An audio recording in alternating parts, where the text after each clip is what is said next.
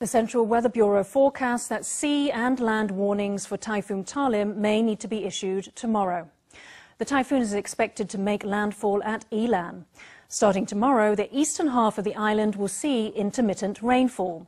Storms are expected across all of Taiwan on Thursday. The public is advised to take suitable precautions.